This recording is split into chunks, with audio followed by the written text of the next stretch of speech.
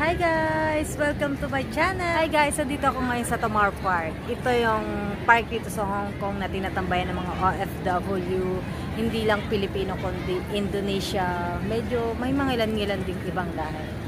Ipapakita ko sa inyo guys kung anong hitsura ng Tamar Park kapag Sunday or even Saturday. I don't know the weekdays. Pero guys, papakita ko sa inyo.